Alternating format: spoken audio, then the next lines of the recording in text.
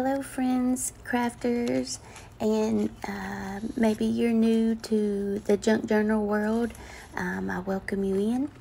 Uh, this is part of the collaboration and challenge with Cara Brandon and Dear Julie Julie, using their beautiful art to create something for seven days and uh, watching it transpire and go between crafters and artists and our perspective and take on um, what we bring to uh, this particular challenge.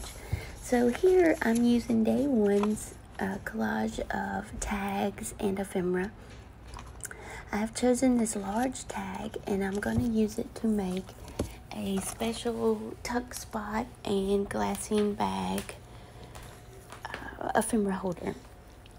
This will go in a larger compartment and then a larger folio, uh, mostly because I cannot be stopped.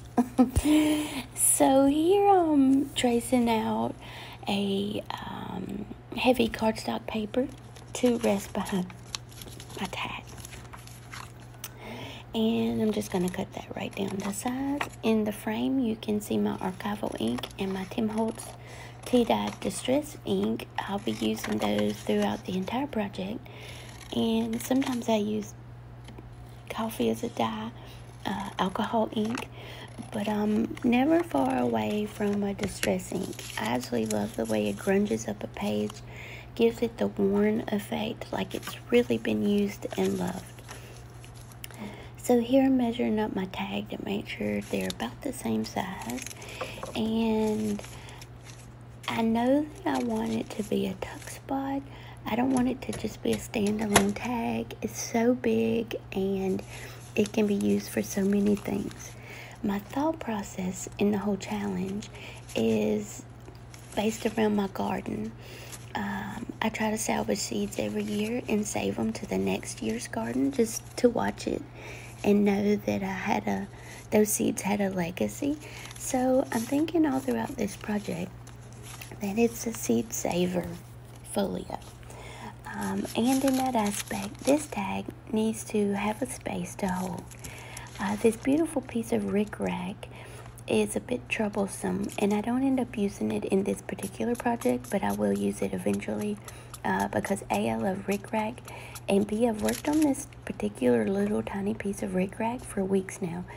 I tried to dye it in coffee for a few days, and it just would not take the coffee.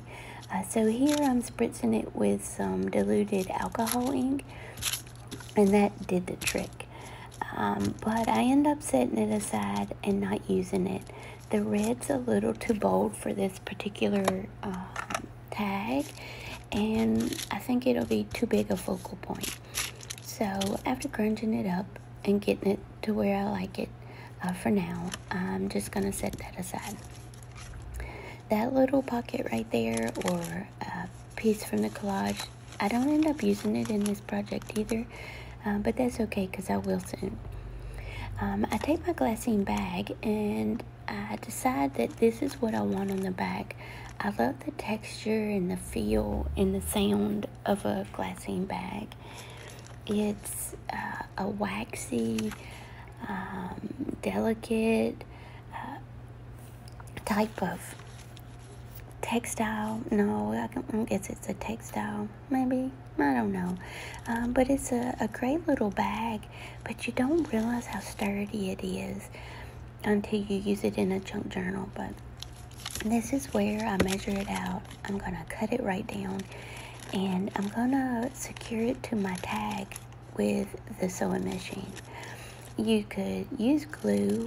Uh, there's plenty of glues that work just fine with this and will hold a glassine bag to paper. But then I can't get the wonderful stitches um, with my sewing machine if I use glue. I'm just not willing to gunk up my machine and feed dogs with glue like that. I have a dedicated sewing machine just for junk journals.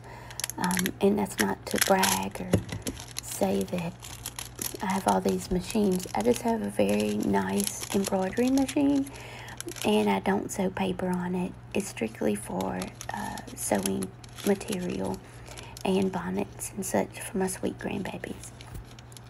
So here I use my hole punch and use half of it to make a finger notch so that whatever's in my glassine bag I can pull out easily. I should have put a piece of paper behind it to get a really smooth cut and I was, you know, just rushing and didn't do that.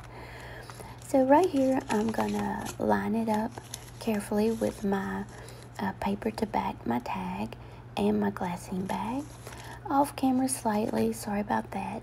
I'm new to uh, longer videos and better at taking snapshots of my projects.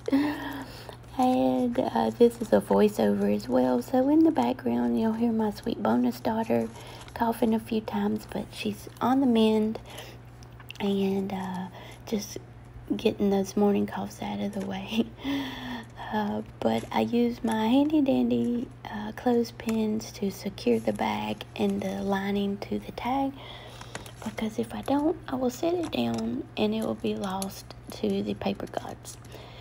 Um, here, I'm just getting ready to uh, decide to go on and sew my pieces together to the tag and I'm going to write you a little note and tell you that I'll be right back and I really will off I go to the sewing machine. Alright, I'm back and as you can see I've sewn all the way around my tag, stopping every now and then, changing to a zigzag and back to straight stitch for fun. I take my little ring, it's just a, a you know, like a jewelry ring. I'm twisting a little piece of scrap micro gingham into it it's been uh, ran over a few times with the distress ink as well, and I love, love, love the frayed edges. So I twisted it just to give it, again, a bit of interest. I'm going to go back to my handy dandy little sewing machine and I'm going to stitch this down. I want to use a straight stitch as well as a um, zigzag stitch not only for interest and eye appeal, mostly my eye appeal, um, but for strength too. This is the pull tab that we will be using to pull this large ticket that has a bag on the back that will potentially hold other things. So we want to make sure it's held down very well and uh, secured in place with multiple stitches and uh, you notice that I do use a contrasting color. Um, I am prone to stick whatever thread I have within reach, gray, black, blue, green, red, pink, into my paper sewing machine um, because the randomness of it, uh, it just gives me so much happiness. it sounds silly, but in the junk journal world, I feel like you people understand me. Um, my other sewing machine, I would never do anything like this. I do leave my threads again for a bit of interest, and it adds to the used, um, loved, uh, tattered look.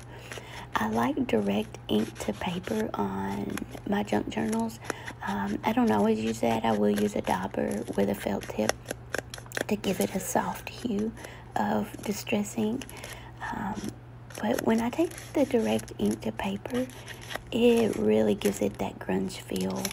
Um, not dirty, not at all uh, a dirty, grungy look, but a used. It's been pulled in and out of the Seed Saver catalog. Uh, my hands were dirty when I was in the garden and I, you know, um, harvested these bell pepper seeds and now I'm putting them in my Seed Saver book. Uh, here I have a tiny little stamp of flowers. I'll be using it throughout the Seed Saver folio. And I've got paper galore all over the place. Fabric pieces just sitting around waiting to be used in this. Now this is another tag from the Day One collab.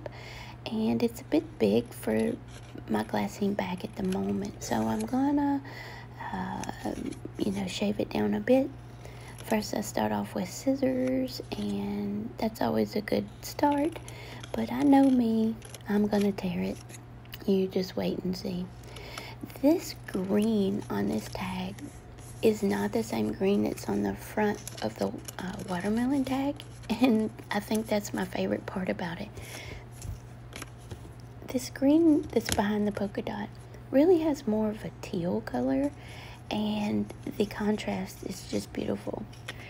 Uh, I do love to tear most of my paper. I can tear it with a ruler and that's fine if I need it more precise. Uh, but when you take the direct ink to paper to this torn edge, it really for some reason just exposes the fibers better and soaks up the ink. You can see right there, it just takes it on better than the cut edge. Um, I'm not quite sure what I'm going to do with the rest of it yet. Uh, so I kind of experiment. Is it going to be um, a bookmark? Is it going to be just a regular tag? Um, am I to cover up the word watermelon with a little piece of fabric? Which that's always a sweet little thing. Not the cover up part, but adding fabric to a paper tag is always a good idea. I love the artwork because I don't really want to cover it up. I know it'll fit in my bag now, but um, that little piece of paper there is too wide and I don't want to cut it down. Um, I've got thread bundles and fabric I could add. Um, I don't really want to do that. It's not, it's taken away from the picture. Do I want to make it a tuck spot, a flip spot? What do I want to do? Well, we'll have to stay tuned for this. This is a uh, work in process, and I just love it.